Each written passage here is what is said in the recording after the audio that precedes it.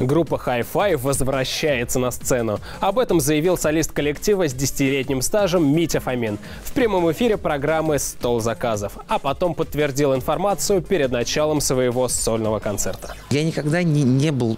Знаешь, это какая-то иллюзия, это какое-то странное совпадение, что считается, что я там ушел со скандалом или я там кого-то предал. Что... Ни, ни в коем случае. Я хотел уйти из группы, потому что мне хотелось другого меня. Я себе другого себя получил. Встречались пару раз с Есениным, Пашей и записывали новые песни. Это было очень приятно, потому что как будто бы, ну, как будто бы, как будто бы я туда, как будто бы я вернулся 10 лет назад. Прежним останется и второй солист Тимофей. А вот женской трети коллектива, которая не раз подвергалась правкам, снова найдут замену. Митя признается, что пока все очень неточно. Важно, чтобы совпало много разных «но». Сольную карьеру артист бросать не намерен, поэтому если на чаше весов окажутся и интересы личной, и группы, Митя выберет деньги. Ребят, кто предоплату внесет первый, тот, так домой поедем.